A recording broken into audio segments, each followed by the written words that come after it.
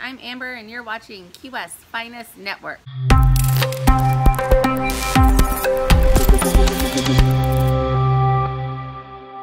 In this video, I'm going to give you my top 10 restaurants off the beaten path or off Duval.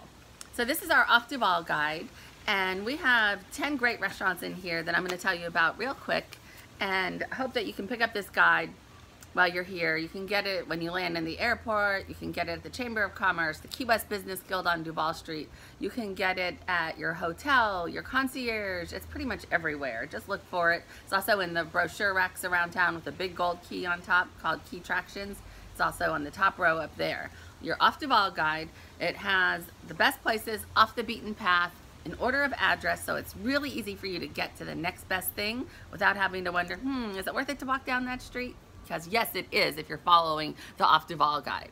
Okay, so the top 10 in no particular order, but these are places that are not your normal tourist traps. They're not places that you're going to see everybody talking about. They're places that I like for different reasons, um, mostly because they're locally owned and practical and easy to get into, and they have great food and cool atmosphere.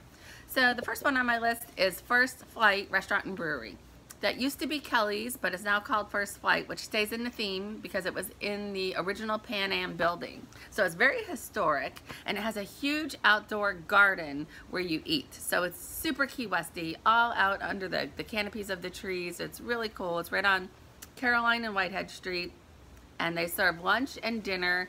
They have really good food, and it's a cool atmosphere, and they brew their own beer. It's actually the first brewery in Key West. So go by there, tell Damien that Amber sent you. It's in your Off Duval guide, so it's easy to find.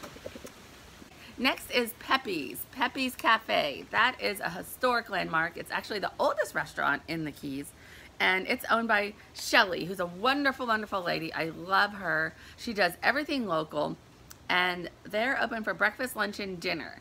Do all those fresh squeezed juices.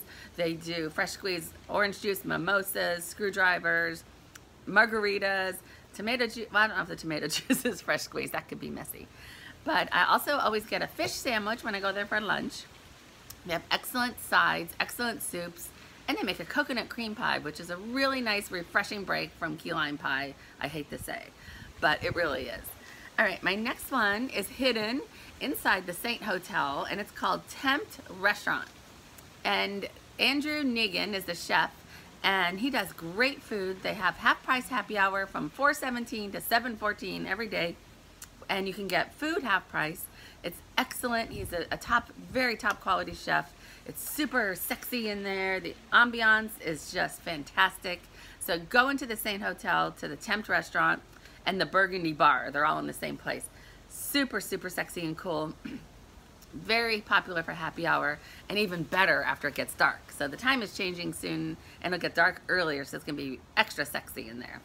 All right, my next one is, of course, the Cuban Coffee Queen. Of course, you hear everybody talking about Cuban Coffee Queen and getting their picture taken in front of the big life-size postcard wall. Well, I happen to prefer the other location of the Cuban Coffee Queen, off Duval in Key Lime Square, right off of Southard Street. It's this cute little square and they have picnic tables so you can actually sit and eat in the shade. You can uh, see there's chickens in there and they have their coffee roastery in there. So you can go in there and buy merchandise and fresh ground and roasted coffee from all over the world that's roasted right there on premises at the Cuban Coffee Queen located on Southard Street. That's an awesome tip, isn't it? Don't wait, wait in line with all the other tourists. Go where the locals go. Thirsty Mermaid and Little Pearl. Thirsty Mermaid is on Fleming and Bahama Street. It is one of my favorite places to have lunch or dinner. It's just a really cool atmosphere, very like groovy and mellow and cool. And it's not funky, it's very, very nice and almost contemporary, a little industrial actually.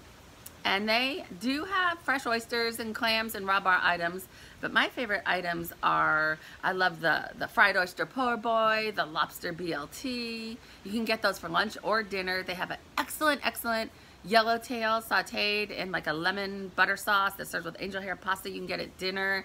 And if I'm on a diet, I get the green gazpacho that comes with a huge blackened Key West pink shrimp sitting right on top of a dollop of creme fraiche. And that's super healthy and delicious, minus the creme fraiche, but hey, you gotta cheat a little, right?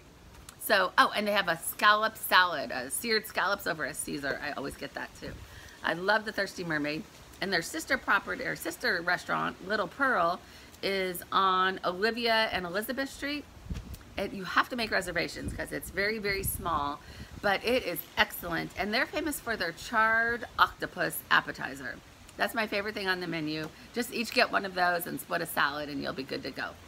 All right, next one is La Creperie. Now, this is across the street from Blue Heaven at 300 Petronia. So while everybody is waiting in a line 45 minutes to an hour for Blue Heaven, you could be across the street having a French crepe at La Creperie on the sidewalk doing people watching. They have cappuccinos. They also do a Key West Finest discount. So mention KW Finest. Go to our website, keywestfinest.com, and look at the travel deals. I think you get a free appetizer or a free mimosa or something like that. I don't know. Just mention Key West Finest everywhere you go. You might get something. So the next one is also on Petronia Street, and it's the Blue Macaw. Now, that's on Petronia and Whitehead. I love the Blue Macaw because they always have great live music. They have good, um, great watermelon tomato salad that I love. A huge bar that's great. They have a Bloody Mary bar where you build your own Bloody Marys. So that's really fun, of course, on a Sunday especially, but every day is Bloody Mary Day in Key West. And they also have really good fish sandwiches there with fresh catch. Oh, and pulled pork nachos that are really good. And half price appetizers at night for happy hour. Their happy hour goes till 9 p.m. So it's worth it to go by there. Street, and that is Cafe Solé. Chef John Correa mixes his specialty of French food with Caribbean cuisine. So go there. You have to have a reservation. It's a small place, but a local favorite. Just appetizers alone are to die for. I mean, they have escargot, devil's on horseback. They have a big stuffed artichoke when they're in season. They have um, conch carpaccio, which I love. They have the halloumi cheese that comes on fire. Fresh fish. They always have a yellowtail or a snapper on the menu. It's delicious. I love it. Go there. It's it's elegant. It's um, a little bit more fine dining. So definitely for a special occasion, it's also really good. Another place for a special occasion that the locals absolutely love is Tavern in Town, which is located inside the Marriott Beachside Hotel. And they have a free shuttle that will take you there if you're downtown. Anyways, Tavern in Town, you have to have a reservation unless you go after 8. But it's a local favorite. I love the butternut squash soup. It is to die for, full of butter and nuts. Oh, and maybe some squash. No, no nuts, but it's, oh my God, I love it. And the filet mignon is delicious.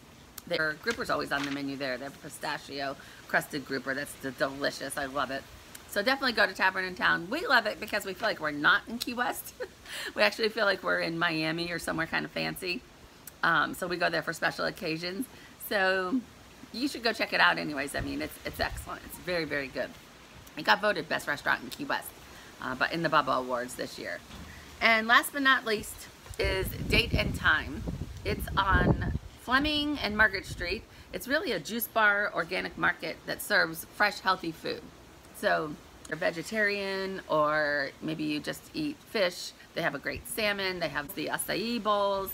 They have fresh squeezed juices. I always get the green immunity juice. They have bulletproof coffee, which I love. And if you're needing to just re-energize, maybe after crazy couple days, go have a fresh juice and eat healthy.